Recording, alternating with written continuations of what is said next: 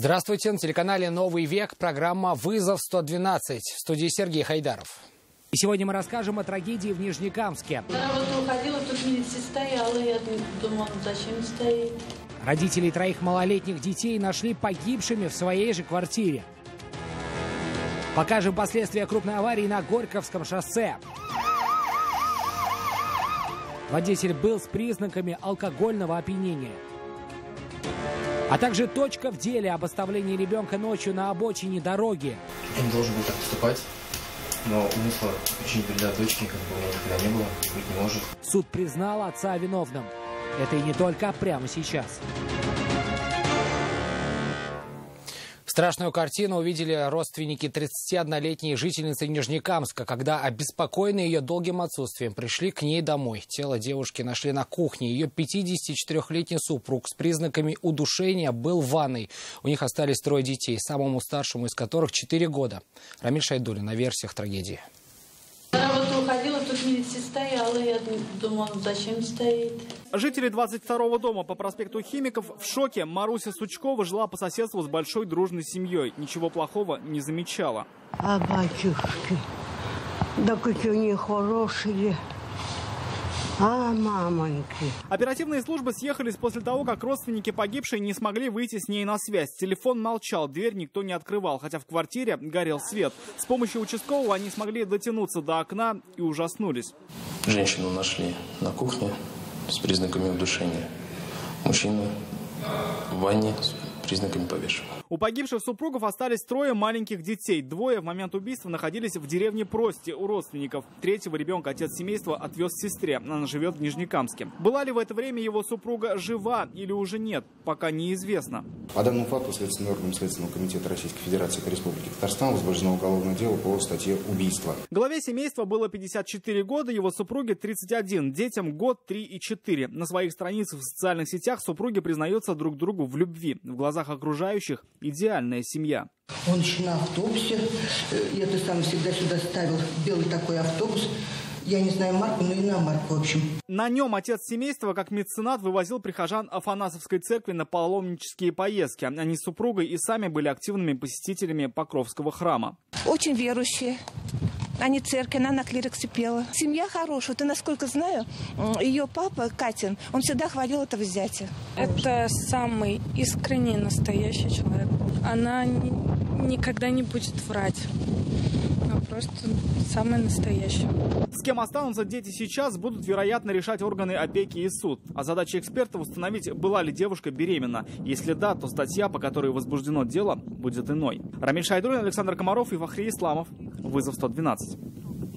Желание воплотить в реальность сцену фильма закончилось смертью для одного и уголовным делом для второго. Трагедия произошла в Камских полянах. Как считает следствие, оба брата в возрасте 45 и 46 лет, распивая алкоголь, смотрели по телевизору боевик. Увидев сцену убийства на экране, младший заявил брату, что тот не сможет повторить увиденную сцену. Чтобы доказать обратное, старший взял со стола нож и нанес родственнику два ранения в грудь и живот. После этого мужчины легли спать. Через некоторое время обвиняемый проснулся и увидел, что брат мертв, после чего обратился в экстренные службы. Следственным органом Следственного комитета Российской Федерации по Республике Татарстан ему предъявлено обвинение в совершении убийства. Проводится комплекс необходимых следственных действий, направленных на установление всех обстоятельств произошедшего. Судом по ходатайству следствия в отношении мужчины избрана мера пресечения в виде заключения под стражу. Водитель «Лады» 99-й модели на Горьковском шоссе не справился с управлением, зацепил отбойник, после чего легковушка несколько раз перевернулась. 35-летний мужчина, сидевший за рулем, во время кульбита вылетел из салона автомобиля. Подбеж- Подбежавшие к нему очевидцы предположили, что он не трезв. Нависа Минязова увидела последствия аварии. Здесь лежал, потом пришел в сознание, начал искать документы. Этот мужчина один из первых остановился, чтобы помочь пострадавшему. Подойдя к водителю, лежавшему на асфальте, он заметил, что от него исходит запах алкоголя, а на проезжей части были разбросаны бутылки спиртного, вылетевшие из салона искореженной «Лады». На место тут же вызвали медиков и полицейских. Изначально «Лада» протаранила ограждение, еще несколько метров проехала по нему, срывая за собой железную конструкцию. Так что некоторые отлетели на несколько десятков метров вперед, а некоторые остались висеть на дереве. Только после этого отечественный автомобиль начал совершать кульбиты, в ходе которых водитель вылетел из салона. Автоинспекторы оформили дорожно-транспортное происшествие и направились к пострадавшему. Ведь необходимо было развеять или подтвердить предположение очевидцев. Медосвидетельствование показало, что мужчина действительно был пьян. 35-летнему водителю очень повезло, и он лишь чудом остался в живых. Ему оказали помощь на месте, а затем госпитализировали в седьмую городскую больницу.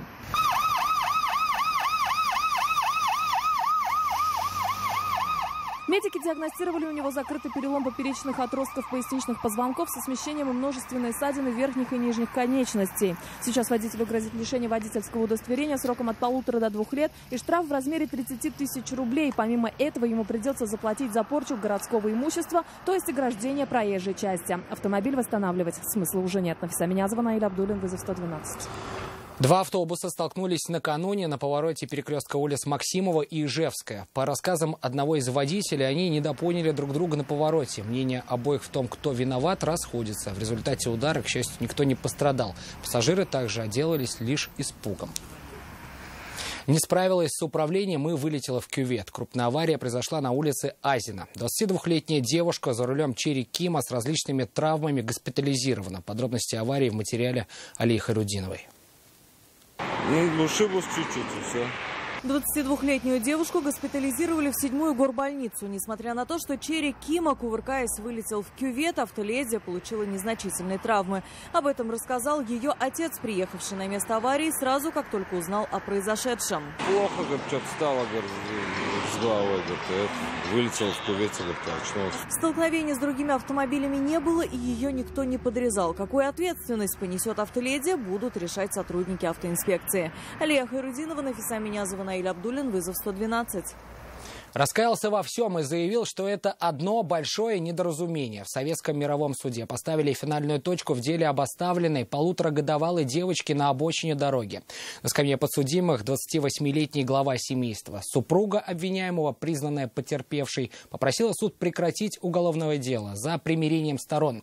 Но представители прокуратуры имели другое мнение, настаивая на его наказании. С чьими аргументами согласился суд, расскажет Айрат Назипов. Я не должен был так поступать, но умысла причинить вреда дочке как бы у меня никогда не было, быть не может. Я очень сильно любил, как она меня. Подсудимый 28-летний Иван Дмитриев полностью раскаялся в суде. Его обвиняют в том, что он ночью оставил свою полуторагодовалую дочь на обочине дороги, после чего уехал. Как объяснял позднее, девочку он оставил матери, с которой поссорился на почве ревности. Но супруга этого не заметила и также уехал без ребенка уже на другой машине. Спустя какое-то время, когда я понял, что она поехала не домой, я уже подумал, что, наверное, все-таки что-то не так, что она, что она не будет гулять с ребенком уже по улице. И тогда я снова написал ей, что где Каролина? На что она ответила, что с нее нет. Я говорю, ты что, шутишь? шутишь? Но тогда никому было не до шуток. Ребенок просидел на обочине несколько десятков минут, пока его не заметили прохожие, которые и вызвали на место медиков и полицейских. Показания стражи порядка выслушали на заседании. Ребенок как был одет? Ну, легко был одет. Колготка как-то, футболка вроде на, на ней была, и все. И На улице полет. погода какая Ну, прохладненько было уже. Девочку доставили в больницу, у нее диагностировали ангину и повышенную температуру. Медики отмечали, что если бы ее нашли позднее, последствия были бы куда трагичнее. Отец малышки, узнав о произошедшем, вернулся на место, где оставил ребенка. Там встретил полицейских. Отец ребенка вел себя он как? Ну, я говорю, паника была у человека, не знаю, да. Ну, пояснял то, что якобы жена увезла ребенка, сидя дома, оставила тут и начала вот отправить смс то, что ребенок там, забери туда-сюда. Впоследствии в отношении родителей составили административный протокол, а главу семейства и вовсе привлекли к уголовной ответственности по статье «Оставление в опасности». Санкции данной статьи предусматривают наказание до одного года лишения свободы. Государственное обвинение просило суд приговорить мужчину к исправительным работам на 9 месяцев, тогда как жена подсудимого и теща, признанные в этом деле потерпевшими, попросили суд прекратить уголовное дело. Говорят, помирились. Безумно любит папу, и так же, как и мой муж, безумно любит свою дочь. Никакого причинения вреда, я уверена, что он, он не смог бы. Хочу, чтобы дело прекратили за примирением сторон. Суд признал подсудимого виновным. Мужчине назначили наказание в виде исправительных работ на 6 месяцев с удержанием 5% из заработной платы. Айрат Назипов, Наиля Абдулин, вызов 112. Это все, о чем мы успели вам рассказать. В студии был Сергей Хайдаров. До встречи. И не бросайте вызов судьбе. Вдруг она его примет.